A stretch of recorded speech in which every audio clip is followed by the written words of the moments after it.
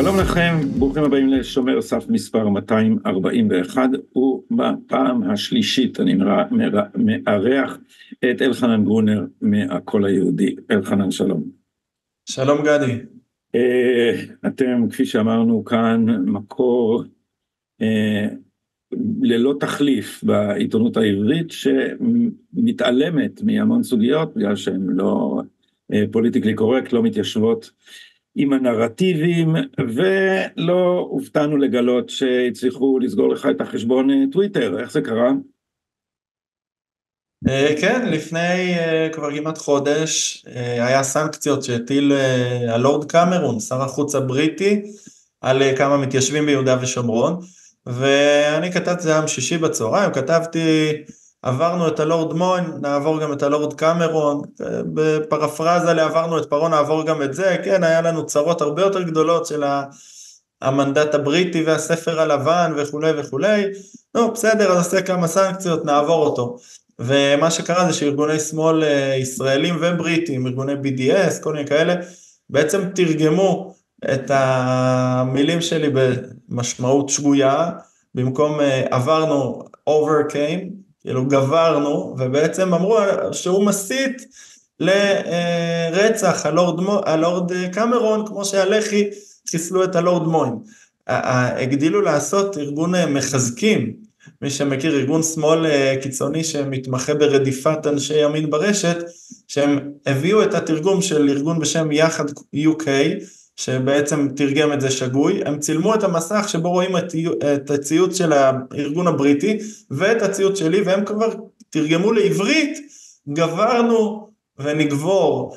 כלומר הם כתבו הם כבר בעברית החזירו את התרגום באופן שגוי למרות שבציוץ בפרסום שלהם רואים את הציוץ המקורי שכתוב עברנו אה, זהו הגשתי לטוויטר ערעור הערעור נדחה כרגע זה מושאל לצמיתות כל מיני אנשים טובים כולל אתה, ניסו לקשר אותי לכל מיני אנשים, בינתיים זה לא לגמרי עזר, אבל אה, בואו נראה, פתחתי טלגרם, מוזמנים לעקוב, אלחנן גרונר, לא יסתמו לי את הפה, אז טלגרם גם... אה, כן, זה, זה השם של, ה, של הערוץ, אלחנן גרונר לא יסתמו לי את הפה, וגם יש הערוץ של הקול היהודי, ואתם... אה, נכון, גם בטוויטר, גם באתר, גם בטלגרם. מוזמנים לעקוב אחריו. אז אנחנו תכף נדבר על דוח שאתם עבדתם עליו שנים, אה, אמרת לי, על אה, פגיעות מיניות כנשק אה, לאומני בסכסוך הישראלי-פלסטיני, ואיש לא רצה לשמוע מפני שזה נחשב גזעני,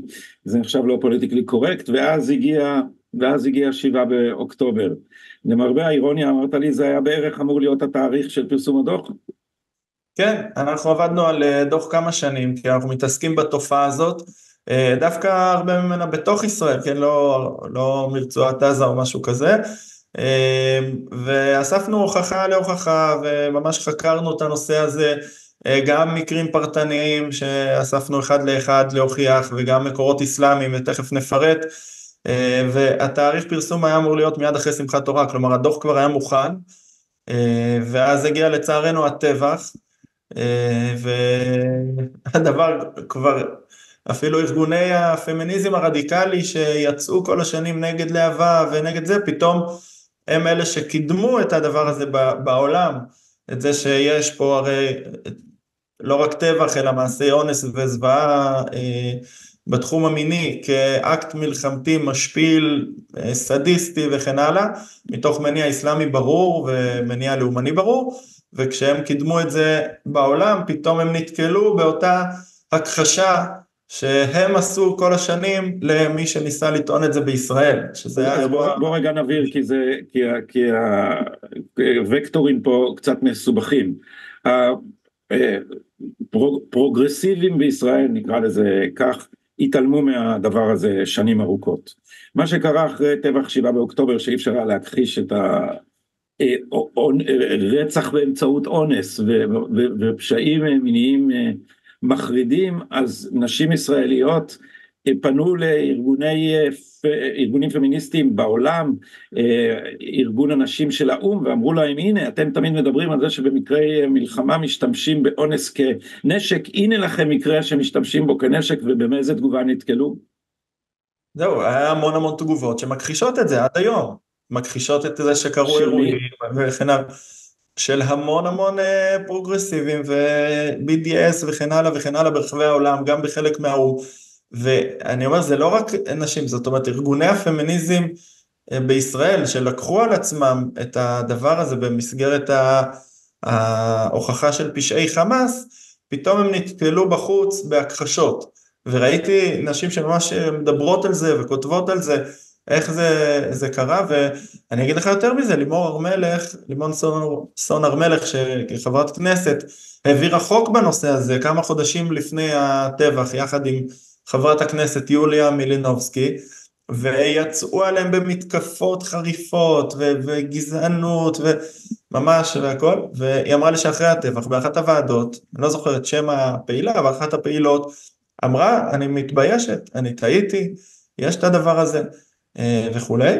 כן, כן, הם, פשוט, הם פשוט גילו שבכל השקפת העולם שאנחנו מכנים אותה פרוגרסיבית או politically correct או woke או פוסט מודרנית או רב תרבותית או פוליטיקה של הזהות או בכל השמות האלה יש היררכיה. ואני תמיד אומר אומרים לי politically correct זה מתחיל מדבר טוב זה מתחיל מזה שלמה להשתמש בשם גנאי שמעליב אה, קבוצות מיעוט פגועות ואני אומר זה בכלל לא זה. politically correct זה האיסור להגיד משהו שלילי בין שהוא נכון ובין שהוא לא נכון על מי שנחשב קורבן. אז politically correct זה איסור לומר את האמת, אסור לומר על מסתננים שיש שם יותר פשיעה, אסור לומר על ערבים שהם משתמשים, שהם מדכאים נשים, אסור להגיד על הפלסטינים שהם זורקים הומואים מגגות, כי זה, היה עכשיו, היה עכשיו מקרה בקנדה שהגיעה נדיה, אני לא זוכר את שמה, זאת שכתבה אה, זיכרונות אחרי שהיא הצליחה לברוח משבי של אה, דאעש, שם התעללו בה בצורות מחרידות, ובית ספר בקנדה שהזמין אותה ביטל את ההזמנה מפני שהדבר יפגע ברגשותיהם של המוסלמים ויעודד דעות, דעות קדומות ואיסלאמופוביה. זאת אומרת אסור לומר את האמת ועכשיו נתקלנו בעובדה הפשוטה שיהודים מסווגים כלבנים בחלוקת העולם למדכאים ומדוכאים של הפוליטיקלי קורקט, אנחנו בצד הקולוניאליסטי המדכא הלבן ההגמוני ולכן אנחנו תמיד נמצא את עצמנו בתוך המסגרת הזאת כצד האשם וכשאונסים אה, אישה יהודייה הפלסטיני המדוכא אונס אישה, אישה יהודייה אני נזכר באופרת הרוק אה, מאמי עכשיו בסצנת האונס שם אז זה בגלל שהוא מדוכא, זה בגלל שדיכאו אותו, וכמו שאמרה ג'ודית באטלר, זה בכלל לא אקט טרור, זה, זה, זה אקט של אה, התקוממות חמושה ואנחנו אה, נחכה עד שיהיו יותר עדויות, כי אם היה אונס זה כמובן נורא, אבל אנחנו עוד לא בטוחים שזה מה שהיה. אז ככה עובד, ככה עובד ההיגיון של הפוליטיקלי קורקט ובסרטון שדיברנו עליו אני ואתה לפני ההקלטה הזאת של בתיה אונגר שאתם יכולים לראות אותו פה בערוץ אה, שלנו בערוץ אה, שומר סף. אז אז היא אה, אז היא מוסיפה ו, ואומרת שמכיוון שבתפיסת העולם הזאת רק לחזקים יש אחריות מוסרית, agency, יכולת פעולה אוטונומית, אז מה שעושים החלשים הוא אשמת החזקים, כי הוא רק תגובה עיוורת בלתי נשלטת למה שהוא בעצם אשמתה. זאת אומרת יהודיות שנאנסו על ידי החמאס אלחנן הם נאנסו באשמתן. כן, עכשיו תשמע, אתה דיברת פה על כל מיני אה, פרוגרסיבים ברחבי העולם וזה יכול להישמע לנו קצת מנותק. השבוע היה דיון בכנסת, דיון מעקב אה, בוועדה של צביקה פוגל, אחרי יישום החוק ש, שעבר בנושא הזה, ונציג התנועה... שאומר מה? החוק אומר מה? החוק אומר שבעצם הוא מגדיר את הדבר הזה כתופעה וממילא הדרישה היא שהמשטרה, זה גם מה שאנחנו כתבנו בדוח שלנו בסיכומים, שיהיה נהלים בתוך אה, רשויות אכיפת החוק לטיפול באירוע הזה כאירוע לאומני. במידה ו, ויש חשד, זאת אומרת לצורך העניין ההגדרות שאנחנו מציעים זה לבוא ולהגדיר שבכל אירוע שבו בן לאום אחד אה, פוגע מינית בבת לאום אחר ייבדק המניע, כלומר זה לא בהכרח תמיד יהיה לאומני, אבל ייבדק המניע, ובמידה, ואני יכול לתת פה הרבה דוגמאות, במידה ויש חשד כזה, כי הוא מחבל משוחרר, כי בפייסבוק שלו הוא שם לפני, לא יודע, את סדאם חוסיין בקריאות נגד ישראל, או כל דבר אחר, תעבירו את זה לימ"ר מיעוטים, לשב"כ, למי שאמון על חקירה לאומנית וכן הלאה. באותו דיון נציג התנועה הרפורמית אמר כמעט באותם מילים שאמרת קודם, שהחוק הזה הוא מעודד תפיסות גזעניות. בסדר? למה? כי הוא בעצם מתיר להגיד שיש תופעה לאומנית כזאת, וממילא אנשים יכולים חלילה לכעוס על ערבים שפוגעים מינית ביהודיות, ואז זה כבר גזענות מבחינתו. זה, זה ממש, זה קורה פה בכנסת, פה בארץ, ואני רוצה בדברים, זאת אומרת, אנשים הבינו, הרבה מהדוח שלנו כביכול התייתר בעקבות הטבח המחריד ומה שעברנו בשמחת תורה, כי אנשים מבינים שיש את התופעה הזאת, אבל מה שאנשים מתקשים להבין, כמה התופעה הזאת קיימת פה בכל רחבי הארץ. החוק הזה, יוליה מלינובסקי קידמה אותו, כי היא רואה מה קורה בנוף הגליל, ומה קורה בחיפה, ומה קורה בחופי הים, ובאולגה ובכיכר ציון בירושלים וכן הלאה וכן הלאה, המון המון מקרים שרובם המכריע מושתקים. אני יצא לי לדבר עם גורם אה, בתוך המשטרה שעוסק יום יום, קצין שעוסק באירועי, אה, לאומי, באירועים לאומניים של אה, מיעוטים, בעיקר של הערבים, והוא אמר לי אני לא מכיר את התופעה הזאת.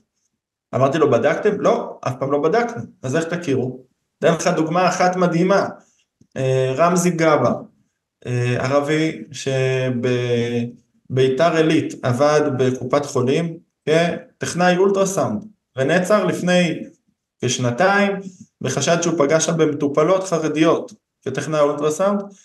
הבן אדם הזה מסתבר מחבל משוחרר, מחבל חמאס שישב בכלא על התפרעויות בהר הבית משהו כמו שנה ושוחרר בחגיגות שחרור עם דגלי חמאס וסרטי חמאס וכן הלאה. עזוב שזה הזוי איך נתנו לאחד כזה להיות טכנאי אולטרסאונד, אבל אה, אנחנו פנינו אז למשטרה, הגישו לו כתב אישום, הוא הורשע גם אה, לאחרונה, אבל פנינו למשטרה, פנינו לפרקליטות, האם בחנתם מניע לאומני? סירבו לענות, זאת אומרת לדעתי כנראה שלא, וככה מקרים אחרים, ואז ממילא אין תופעה, כי לא בחנת אותה. זה, זה עיקר הטירוף. אז, אבל באמת קשה להפריד קטגורית בין עברייני אה, מין סתם שיכול להיות יהודי או ערבי לבין אה, מניע לאומני. אז אה, איך אתם מגיעים לתוך כוונותיו של אדם? כי אני מניח שהדבר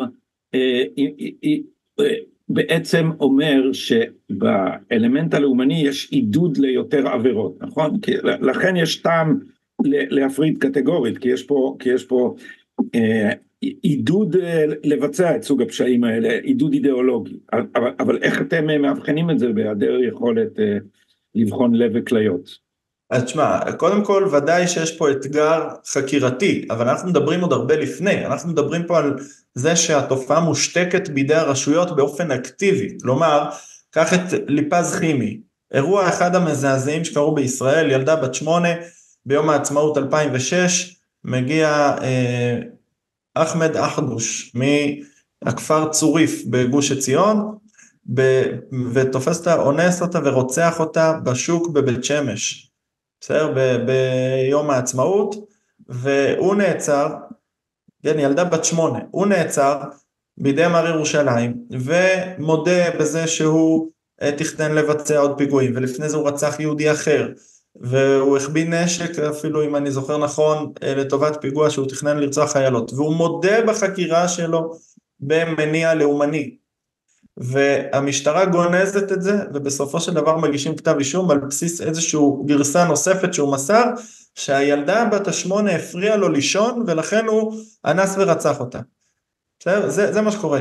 ועורכת הדין רוני אלוני סדובניק שמייצגת את המשפחה יוצאת למסע גיהנום של המשפחה הזאת שחרב עליה עולמה באירוע באמת בלתי נתפס.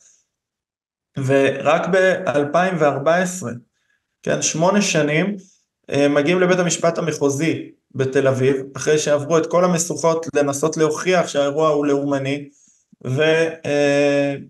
ובעצם השופטת שם, דליה גנות אם אני לא טועה, מביאה, מסכימה להביא את אותו רוצח לדיון, ושואלים אותו, למה רצחת אותה? והוא עונה בלי להתבלבל, כי הילדה הזאת תגדל ותהיה חיילת במחסום. ואומרת לו השופט, אבל היא ילדה, בת שמונה, אומרת, אצלנו אין גיל שמונה, אין גיל עשרים, זה כולם אותו דבר. וכמובן היא, היא באה ואומרת למדינה, רגע, אתם עוד מתעקשים שזה לא לאומני, ובהחלטה שלה היא מביאה את הדברים, ש... את הגרסה שבעצם הייתה מונחת כבר בפני המשטרה, את ההודעה הזאת, ומעבירה ביקורת מאוד חריפה על ימ"ר ירושלים, שגנזו אותה. ככל הנראה כדי שלא יהיה בלאגן, שלא יהיה, אה, לא יודע, גזענות, סכסוכים בין יהודים לערבים, גנזו אותה. והכל זה היה כבר לפני המשטרה, וזה לא אירוע אחד ולא שניים, זאת אומרת כל המקרים, אנחנו מדברים על סביב 11 מקרים עד היום שהוכרו בישראל כפגיעות מיניות על רקע לאומני, הם מקרים שלמעט אחד אולי או שניים, זה מקרים שנאלצו לעבור מסכת גיהנום של הוכחות, אני מדבר על האונס בגן העיר בתל אביב, גם רוני אלון סדובניק היא עורכת דין שבעצם ייצגה כמה נפגעות, אונס מחריד בגן העיר בתל אביב, אה, מי שזוכר שבחור מהכפר אה, עקרבה בשומרון אה, תפס בחור ובחורה ובעצם התעלל בהם בצורה מאוד מאוד קשה באיומי סכין. וגם שם מסתבר רק אחרי כמה שנים שלמדו והוא אמר אני למדתי ברשות הפלסטינית שהיהודים הם תתי אדם ולכן עשיתי את מה שעשיתי.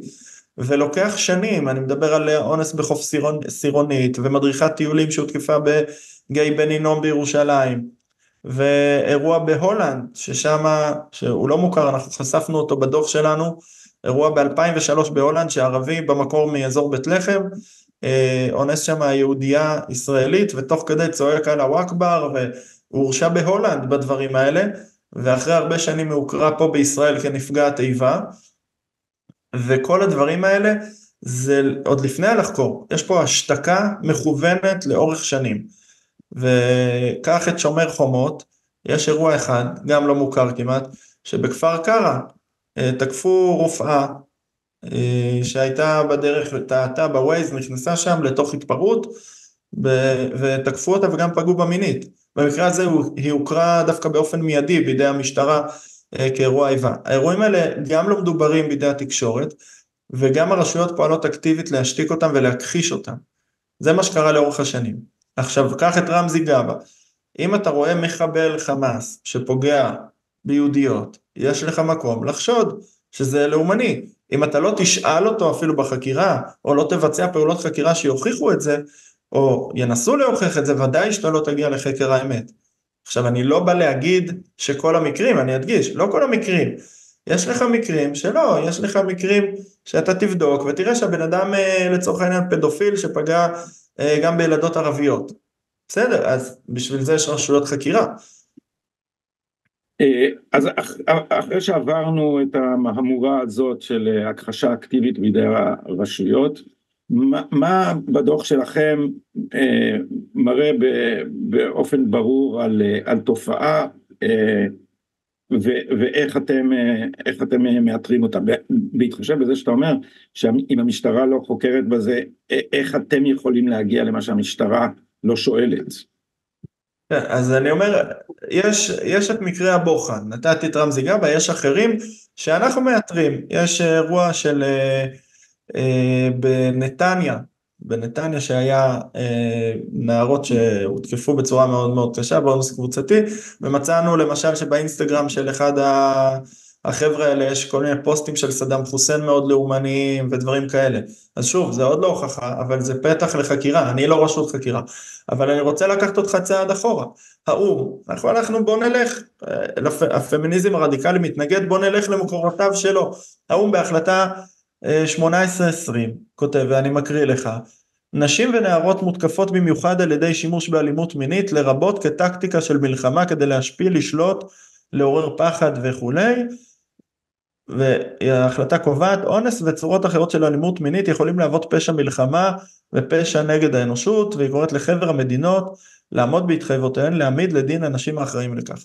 כן, דובר על אזורי סכסוך במלחמה, האו"ם קרה, אז למה מדינת ישראל לא מעמידה, מדברים שם על להעמיד יועצים שמבינים בזה, וכן הלאה. אני לא אומר שהעבודה היא פשוטה, כל תיק חקירה בעבירות מין הוא לא פשוט, ובכלל עבודת המשטרה לא תמיד פשוטה. אני מדבר פה על קודם כל השורש להבין שהתופעה קיימת וצריך לטפל בה. אז זה אחד, קודם כל החלטות האו"ם שקיימים דברים.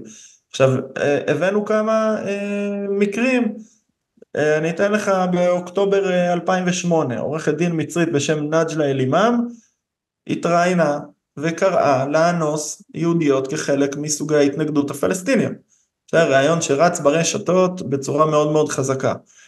בסדר, יש לך את, אה, הבאנו את פרופסור סועד סאלח מאוניברסיטת אל-עזר, מומחית לשריעה באוניברסיטה מהגדולות בעולם המוסלמי, שגם היא אומרת, ואני מקריא, למשל, אם אנו נלחמים בישראל וישראל גוזלת אדמות ועושה עוול לאנשים ולדת, השבויות במלחמה, הנשים, הן השפחות, זאת אומרת שעל מנת להשפיל אותן, הן הופכות לשפחות של המפקד, או של הצבא, או של המוסלמי, והוא יכול לשכב עימה כמו שהוא שוכב עם נשותיו.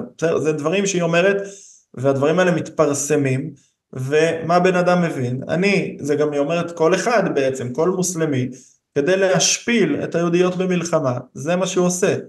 אני אתן לך עוד אירוע, בזמן שומר חומות, באנגליה היה שיירה של אה, אה, תמיכה בפלסטינים, כל מיני מוסלמים פרו-פלסטינים עם רכבים, עם דגלי אש"ף, וברמקולים, זה סרטון שהגיע למיליוני צפיות ברשתות, ברמקולים הם צועקים, rape the daughters, כאילו הם ממש צעקו תאנסו את היהודיות תעשו ועצרו אותם ראש ממשלת בריטניה גינה את זה עצרו אותם אבל זה משהו שהגיע למיליוני צפיות. עכשיו מפה אני יוריד אותך למקרה פרטני בבית חנינה אה, בזמן אה, שומר חומות יושב לו בחור שהוא חצי עבריין אבל משתתף גם בפרעות.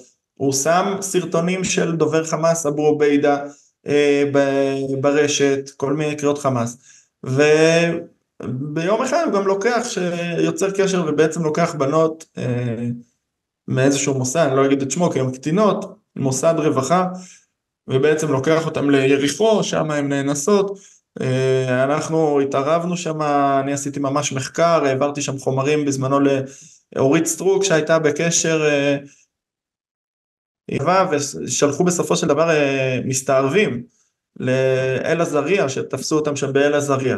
עכשיו, המשטרה שחררה אותו, כי הם פחדו להתלונן, אמרו לא, הוא חבר שלנו, והם אמרו, אין פה, זה לא לאומני על פניו, זה לא שום דבר, אבל כשאתה רואה שהבן אדם אה, משתף שירים של אבו עוביידה דובר חמאס, ומשתתף בפרעות שומר חומות, ולוקח את היהודיות ומשפיל אותן, ועושה דברים, אני לא אכנס לזה בשידור, אבל שמענו, גבינו המון המון עדויות מנערות כאלה במוסדות כמו צופיה ומסילה, שרובן המכריע נמצאות בקשרים ומנוצלות על ידי ערבים בדווקא, חלקם עבריינים, אבל הן מתארות אה, דברים משפילים, הן מתארות שהם, איך הם מדברים ומדברים על מה הם יעשו לחיילות, ומדברים על ערבים שזורקים אבנים על המשטרה ופוגעים בבנות היהודיות. אז לכל הפחות תבדקו את הדבר הזה, תבדקו אם בן אדם זרק אבנים והחבר שלו שהיד והוא לוקח בחורה כזאת ופוגע בה בצורה אה, משפילה באופן חריג, בסדר, אמרו לי אנשי משטרה גם, שמתעסקים עם נוער, שזה דברים חריגים, זאת אומרת זה לא שאין עבירות מין בציבור היהודי או לא משנה בכל ציבור לצערנו הדבר קיים, חרדי, דתי, חילוני, אה, אה, בכל כל אוכלוסייה קיימים, אבל הם מדברים, גם גורמי המשטרה, על סוגים שונים, על אכזריות מסוימת, על, אה, על, גם על התמיכה שמקבלים מהחברה, זאת אומרת אדם יהודי שחלילה וחס יעשה כזה דבר, אתה לא תראה את החברה תומכת בו ואומרת איזה גבר הוא, כל הכבוד לו שהוא תפס בחורה ועשה לה חלילה ככה וככה, ואצלם כן, זה, זה משהו שקיים בהחלט.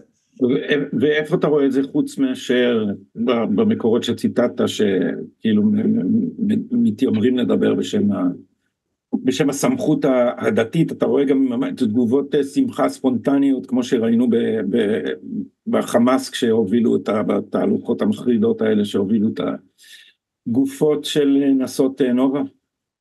כן הנה אתה רואה שאם כורזים לך ברחבי לונדון תאנסו את היהודיות וזה מקבל מיליוני צפיות כשהמון המון מוסלמים משבחים ומפארים, כמובן אחרים מזדעזעים. זה, הבאתי פה בכוונה כמה דוגמאות, זה מסמכות הלכתית, לא כולם אגב בהכרח, כן? אני לא אומר כל המוסלמים או זה, אבל התופעה היא קיימת. ואתה רואה את זה מפעילים, וראינו את זה בטבח, זה לא אחד ולא שניים, זה אירועים מחרידים והם מוכוונים, זה, זה תפיסת עולם, כמו שאמר אותו אנס בגן העיר, ברשות הפלסטינית, כשמחנכים אותך שהיהודים הם קופים וחזירים, ואתה שומע בטלוויזיה את הפרופסור לשריעה שאומרת לך שצריך להשפיל את היהודיות כחלק מהמלחמה פה, וכן הלאה וכן הלאה, אז בסוף למה לא? עכשיו זה כן מצטרף גם לדברים תרבותיים. אמר לי דוקטור מוטי קידר, אה, משפט שככה מאוד הלך איתי בפרויקט הזה של המחקר, הוא אמר לי שלדעתו זה דברים שמעורבבים. יש כאלה שאצלם זה יותר איזה שופוני כזה, אני גבר, אני מסתובב פה, לוקח איזה בחורה.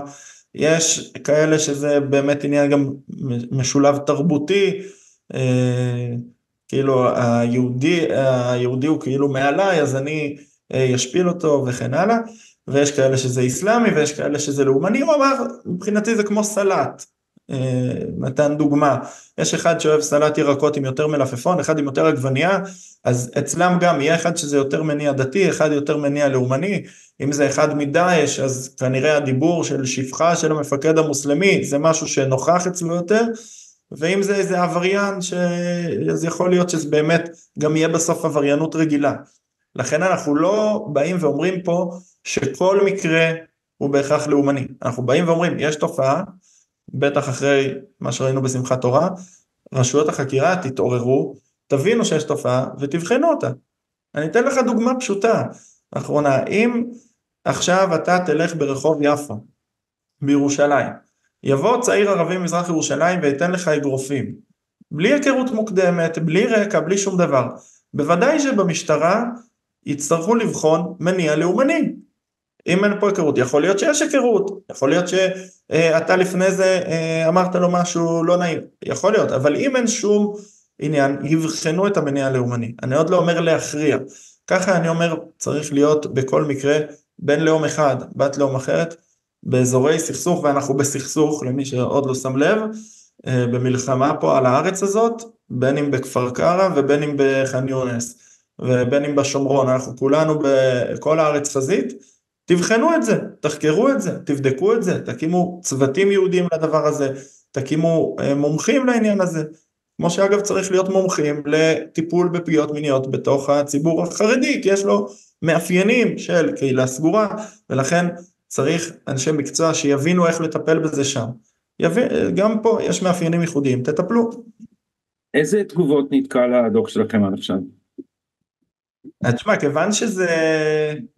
אה, אני יכול להגיד לך על דוחות קודמים שלנו, ש... אה, או כתבות תחקיר בסוגיה הזאת, הדוח בעצם מאגד הרבה הרבה דברים, אה, נתקל ממש בהתנגדויות, גורמים ברווחה ואיך הם גזענים, כאילו אפילו היה מקרה שחשפנו ניצול כזה של קטינות יהודיות במרכז ירושלים, שזה היה מדהים באיזשהו פורום של הרווחה, מישהו מבפנים סיפר לי שכל הדיון עסק באיך הקול היהודי אמרו שזה בגלל שהם ערבים, במקום, ואף אחד, ובשלב מסוים אומר להם, אתם שמים לב שלא מעניין אתכם השלוש נערות פה שנאנסו ונפגעו, ואתם רק מדברים על כמה הם גזענים שהם אמרו שזה בגלל שהם ערבים. עכשיו בפרסום עכשיו, שזה אחרי שמחת תורה, אז אה, פחות, מטבע הדברים כבר אין כל כך אה, התנגדויות הזאת, כי שוב, אותם גורמים שפעם היו מתנגדים, הם צריכים להוכיח את זה בעצמם בעולם. אני כן אומר, התנועה הרפורמית, גם השבוע בכנסת, מתנגדת לחוק של אה, חברת הכנסת אה, הר מלך ומילינובסקי, ויילחמו בזה, ויש כמובן גורמים, אבל מי שבא ומסתכל על זה בצורה עניינית, ואני מדגיש שוב, אני לא בא להגיד, עכשיו, כל הערבים כאלה או לא כל הערבים כאלה. אני בא להגיד, יש פה תופעה, צריך לחקור, במידה ויש הוכחות למניע הזה, תעמידו לדין. לא ייתכן שיש אלפי מקרים, כן, וזה עוד דבר שלא דיברנו עליו, הנתונים, כמה מקרים בישראל יש שערבים פגעו ביהודיות, אה, פגיעות מיניות. המשטרה מסרבת להביא את זה, כל פעם זה איכשהו בבקשות חופש מידע שעושות חצי ובערך אולי, אבל גם מהם אתה לומד שזה לפחות, לפחות 500 מקרים בשנה. בסדר? לא שהוכרו כלאומני, אלא שהתרחשו אה, בין ערבים ליהודיות, ואתה אומר לעצמך, זה לא הגיוני שהיה אלפי מקרים, ורק 11 הוכרו כלאומנים, וגם זה אחרי מאבק. זאת אומרת, המשטרה פשוט באופן אקטיבי מסתירה את המידע. כן, לא בודקים אותו, לא בוחנים אותו, אם זה באופן אקטיבי כמו שהראיתי במקרה של ליפז כימי, אם זה סתם מרשלנות או חוסר ידע. אמ, שוב, אמר לי בן אדם, אמרתי קודם, בן אדם מאוד רציני, אבל הוא אף פעם לא שמע על הדבר הזה, כי אף, אחד, אף פעם לא בחנו אותו. אה, ודיברתי לאורך הפרויקט עם כמה אנשי משטרה שאמרו לי את אותו דבר. אין תופעה, אמרתי, אבל בדקתם את זה? לא, אף פעם לא חקרנו, אף, אף פעם לא שאלנו את השאלה הזאת. אז ודאי שאין תופעה.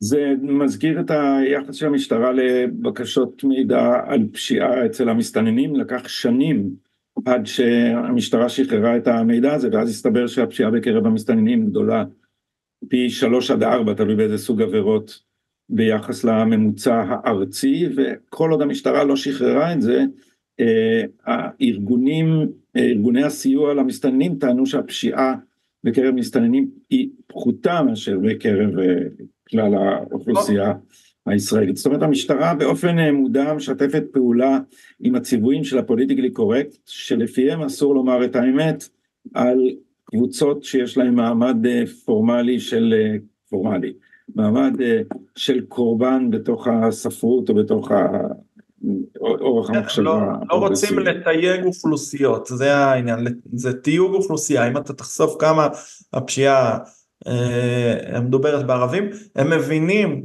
שהדבר הזה הוא מושתק והוא קיים, איך אני גם יודע שהדבר הזה מושתק? כי כל פרסום שלנו בנושא הזה, כבר עשור שאנחנו מתעסקים או יותר, זוכה פרסום מאוד מאוד נרחב ברשת כי בתקשורת הפורמלית תמיד זה יהיה רומאו ויוליה לא משנה אם אחרי זה ויש אני יכול לזרוק מקרים לא משנה מקרים שאחרי זה אה, התעללו בבחורה כן יש לנו את מקרה ספיר נחום אה, שנרצחה בידי אה, אותו חלאה מעכו שגם היה שותף בפרעות בשומר חומות ומקרים אחרים. תמיד בטלוויזיה אתה תראה את זה בערוץ 13 או זה סיפור אהבה רומנטי. וכשאתה רואה את הדברים האלה שאנחנו מביאים פה בדוח אתה אומר רגע אולי הוא לא מסתכל על זה כמשהו רומנטי אולי הוא מסתכל על זה כמוסלמי שמשפיל יהודייה והיא שפחה שלו ולכן הוא לוקח אותה. ואני לא אומר שיש גם מקרי אה, אני אקרא לזה קלאסי, כן. יכול להיות שיש מקרים, כן, זה, יהיה לי בעיה עם זה מצד התבוללות, כמו שיהיה לי בעיה עם יהודי שהלך והתחתן עם קנדית, אה, אה, גויה. זה עניין אחר. אני מדבר פה עכשיו על ההקשר הלאומני וההקשר המלחמתי. אה, והדבר הזה הוא קיים ובהחלט מושתק, והלוואי הלוואי שיהיה פה איזשהו שינוי. אני מזכיר שגם פיגועים רגילים לא פעם הושתקו. כן, אנחנו בעצמנו חשפנו לא מעט מקרים, עבדתי בעבר בארגון חוננו, שעבד על הרבה מקרים של פיגועים, אה, נקרא לזה קלאסיים שהושתקו או סווגו כתאונת עבודה כמו רצח נתנאל ערמי בפיגוע סנפלינג או הרצח של אבי בן ציון, אה, השם ייקום דמו בבקעת הירדן, אה, חקלאי ומקרים רבים נוספים. זאת אומרת יש פה איזושהי מגמה באופן כללי להגיד הרב טלבי שנרצח בשומרון ואמרו שהוא התאבד, זה נראה לי שילוב גם של אל תעשה תסיסה, אל תעורר את השטח עכשיו, אם זה לאומני יתחילו לי הפגנות ויתחילו לי מחאות ו- ולא יודע מה יקרה, וגם אה, סתם, למה לעבוד קשה אם אפשר לסווג אירוע כאירוע התאבדות או לא יודע מה ולחזור לתחנה ולסיים משמרת בשקט. אה, אלחנן, במה עוד אתם עוסקים? תן לנו לסיום איזה סקירה קצרה של התחקירים האחרונים שלכם. טוב, זה אחד הדברים המשמעותיים אה, שעכשיו פרסמנו ממש שבוע שעבר, זה היה על אה, אימוני הרשות הפלסטינית בפקיסטן. אה, בעבר דיברנו על, ה, על האפשרות הזאת להיפוך קנים, וגם בצה"ל, בעקבות החלטת הקבינט, יותר ויותר נערכים לעניין הזה, בתרגיל שהיה שבוע שעבר וכן הלאה, אבל אנחנו חשפנו משהו שבפיקוד מרכז, נדהמנו לשמוע, לא מכירים, גם בשב"כ, הכחישו שמכירים, לא יודע אם להאמין להם או לא, וזה שצוערים מהרשות הפלסטינית יוצאים לפקיסטן לאימונים של שריון, ארטילריה, ירי טילי נ"ט, מקלעים כבדים, צניחה, צליפה, אימונים צבאיים לכל דבר ועניין. חלק מהקורסים זה ממש הכשרה של שנתיים באקדמיה הצבאית בפקיסטן, הבאנו המון תיעודים, איך הם יורים טילי RPG, אה, נוסעים בטנקים וכן הלאה. איך הגעתם לחומרים האלה? זהו, זה מה שמדהים, היום הפער בין האנשים חושבים שלא יודע, אנחנו עם איזה יכולות סייבר, אלישע ירד אה, וחבר'ה של מאבק על כל דונם, שזה ארגון שמנטר את ההשתלטות של הרשות הפלסטינית על אה, קרקעות, אה, פשוט קפץ בטיק טוק איזשהו סרטון שהוא רואה מפקיסטן, הוא אומר, שלח לי אותו, העמקנו במחקר, הכל מגוגל, גוגל, חיפושים ברשתות חברתיות, עברתי איזה 150 חשבונות של חבר'ה עד שמצאתי ואספתי תיעוד לתיעוד, ואתה מגלה שעשרות רבות הוכשרו שם בפקיסטן, חלקם אגב בקורסים של אה, פיקוד, אחד באקדמיה הימית אה, וכן הלאה, הראינו גם שהמון מהם תומכי טרור מפורשים, זאת אומרת, אחד התמונת נושא שלו בפייסבוק זה מחבלי חמאס שכובשים את ירושלים, אה, אתה רואה גם ערבוב כזה בין אנשי הרשות לחמאס וג'יהאד איסלאמי, ובאמת אחד הדברים המדהימים זה שצה"ל לא ידע, לא רק זה, אחרי שפנינו לדובר צה"ל לתגובה ועוד לפני שפרסמנו את התחקיר, כל הפרסומים באתר מכללת איסטקלל של הרשות הפלסטינית שמכשירה את כוחות הביטחון של הרשות הוסרו, כל מה שקשור לפקיסטן הוסר מהאתר באופן מפתיע, אין לי לזה הסבר האם צה"ל פנה אליהם, האם הם נלחצו והסירו, שאר הפרסומים שהייתי בהם עובדים כרגיל, אחרי זה שחזרנו אותם עם מטמון, אה, ככה שהדברים קיימים. אבל אה, זה מה שקורה אה, שם, ובעצם יש לכך שתי בעיות. קודם כל ברמה המדינית, אנשים לא מבינים שבמשך שנים הרשות בונה פה צבא. עכשיו התחילו הכרות במדינה פלסטינית, כמה מדינות מאירופה, הם בנויים לזה שהם מנסים לבנות את עצמם יותר נכון, לזה שיהיה להם צבא. הרי בהסכמי אוסלו כל, כולם תיארו שבסדר, יהיה משטרה פלסטינית ש... תילחם קצת בחמאס ויהיה איזה שוטר תנועה ברמאללה עם עלה ואקדח שיכוון את התנועה, זה, זה רוב האנשים שתשאל אותם, זה הכוחות ביטחון של הרשות הפלסטינית. אז מה הם צריכים פתאום? אקדמיה ימית, אימונים בטנקים, למי זה מיועד בדיוק, מי, מי האויב שאליו הם מתכוננים. בסדר? זה, זה צריך להיות עיוור לחלוטין כדי לא להבין שנערכים פה אני לא יודע מחר בבוקר או עוד שנתיים או עוד עשר, אבל נערכים פה למלחמה מול ישראל בצורה חזקה ומשמעותית, ואנחנו ישנים מתחת, ישנים כאילו, באמת, והכל פה מתחת לרדאר, הצבא לא נערך, לא מכיר, דיברתי עם קצינים בתוך אוגדת איו"ש, אנשים היו בהלם, דיברתי עם חברי קבינט, היו בהלם, אף אחד לא מכיר את הסוגיות האלה, לא מכיר את הדברים האלה. העניין השני זה גם ברמה של היפוך קנים, אם אה, ייקחו טילי RPG שנמצאים בשטח, מקלעים שנמצאים בשטח, ואחרי שנתיים של הכשרה בפקיסטן יצאו למתקפות, אה, חלילה וחס יכולים גם לעלות לטנקים, אני לא יודע אם הטנקים מפקיסטן זה משהו שמאפשר אה, למי שהוכשר עליהם גם לעלות לטנק מרכבה, אבל אף אחד לא בודק את זה, זה מה שמטורף. יכול להיות שכן, תחשוב על מחבלי חמאס שבשביעי באוקטובר היו נכנסים חמישה, שישה, עשרה לטנקים של צה"ל שאחרי שהם השתלטו עליהם ומתחילים לנסוע לאשקלון. זה, זה, זה לא היה רחוק מזה, ופה יש להם את ההכשרות לאנשים האלה גם על שריון. ואף אחד לא, לא מתעסק עם זה, זה משהו מדהים.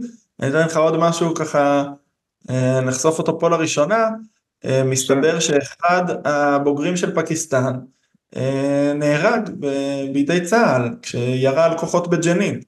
יש סרטון מפורסם יחסית לפני שנתיים של אחד המחבלים שיוצא מאיזשהו אה, גומחה שעומדים שם כמה מחבלים, פותח בירי על כוחות צה"ל בג'נין וחוטף כדור בראש מצלף. אה, סרטון שרץ הרבה ברשת, אה, אותו בחור אחמד אלונה הוכשר בקורס של שלושה חודשים של כוחות מיוחדים בפקיסטן. זה, זה, וחזר לפה ונלחם בצה"ל. זאת אומרת זה דברים באמת, זה, אני לא יודע אם הפרסום, מה יותר uh, מטורף, הפרסום עצמו, או זה שבמערכת הביטחון אף אחד כמעט לא ידע על זה. השם יעזור לנו בעזרת השם. זה שבמערכת הביטחון אף אחד לא יודע על זה, זה ממש, זה ממש מחריד, פשוט השאננות של ישראל היא בלתי נתפסת, ופה יש גם כמובן אינטרסים, כיוון שכל האליטה מכוונת עדיין למסגרת אוסלו, אז מידע כזה, אני לא יודע פוזיטיבית איך הוא מושתק, אבל לא יכול לעבור את המסננת, כי עדיין ממשיכים להגיד לנו שיש גם, יש גם פרטנרים לעשות את, את ההסכם, כמובן כל, הרי כשמקלפים את אוסלו מכל הקליפות והרטוריקה בליבה של אוסלו, הדיל הוא כזה, מיקור חוץ של הביטחון שלנו לכוח פלסטיני, זה כאילו כל, ה... כל, כל השאר זה קישוטים, המהות היא שהביטחון יופקד בידי, בידי uh, כוח uh, ערבי פלסטיני ורבין אפילו חשב שזה יהיה יתרון כי זה יהיה בלי בג"ץ ובלי בצלם והערבים ידכאו את הטרור כמו שהערבים מדכאים התנגדות למשטרים דיקטטוריים ערבים, הוא פשוט סירבו להפנים את העובדה שזה לא רק שהרשות לא מדכאת את הטרור, היא מתגאה בו והיא חלק ממנו. כן, אני אתן לך דוגמה מדהימה, כי יש אנשים שיכולים להגיד, טוב, אז תעזבו את יהודה ושומרון, וזה רק עניין של המתנחלים. אני אתן לך דוגמה מהשבוע, עד כמה הביטחון האסטרטגי של מדינת ישראל הופקר. בהר בעל חצור, ההר מהגבוהים בארץ, אה, בין עופרה לכוכב השחר, יושב בסיס חיל אוויר, זה לא סוד, בסיס, אפשר לראות את זה באתר חיל האוויר, בסיס סופר אסטרטגי, העיניים של המדינה, מכ"מים, כל מיני אמצעים שבאמת ברמות הכי הכי גבוהות, אה, סופר סופר אסטרטגי. עכשיו הכפר, הבסיס הזה מוקף מצד אחד כפר מאלק, מצד שני הכפר דיר ג'ריר, ומן הסתם כל אחד מהצופים בטוח שיש כוח אבטחה מאוד מסודר ששומר על הבסיס, אה, וכולי. אה, זהו שלא. זה, יש שם איזה כוח מצומצם של חיל האוויר, שלא מספק את התוצאות, ואני אסביר לך מה היה שם רק השבוע. אה, בחודש האחרון היה, היה לפחות שלושה ארבעה אירועי מטען שהניחו על ציר הגישה לבסיס, הציר היה סגור כמה שעות.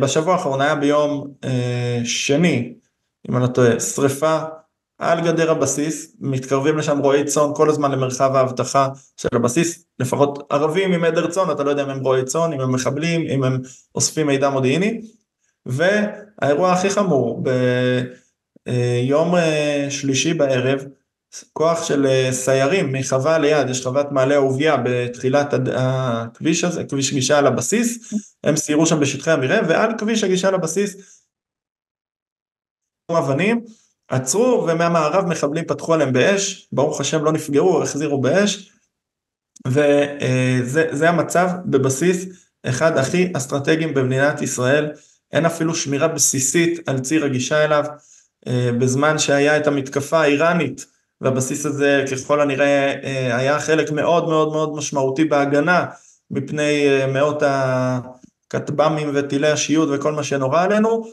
מהכפר ליד. העלו לטלגרם, יש עכשיו אזעקה בבסיס, עכשיו יוצא ככה מהבסיס, עכשיו קורה ככה בבסיס, זה, זה פשוט טירוף, כאילו יש מצד אחד אנחנו באיזושהי טכנולוגיה אה, אדירה ו, ובאמת היכולות, אולי הבסיס הזה יכול להיות דברים במיליארדים, ומצד שני לא מסוגלים להביא חמישה חיילים עם ראש על הכתפיים שיגידו אף אחד לא מתקרב לציר גישה הזה ואף אחד לא מתקרב לבסיס ואנחנו שומרים פה על המרחב.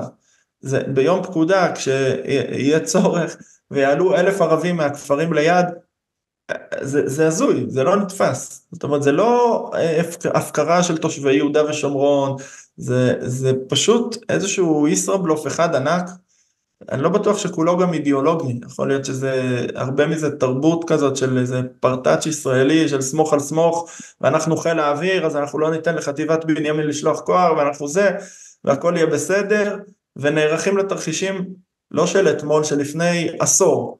כי בתרחיש אה, של מה שדיברנו עליו עכשיו, של חבר'ה שהתאמנו בפקיסטן ובאים עם RPG ובצירוף המון, שזה דברים שיכולים לקרות מחר בבוקר, הבסיס הזה יכול להיכבש ברבע שעה, ו- ולא יהיה לנו עיניים למדינה.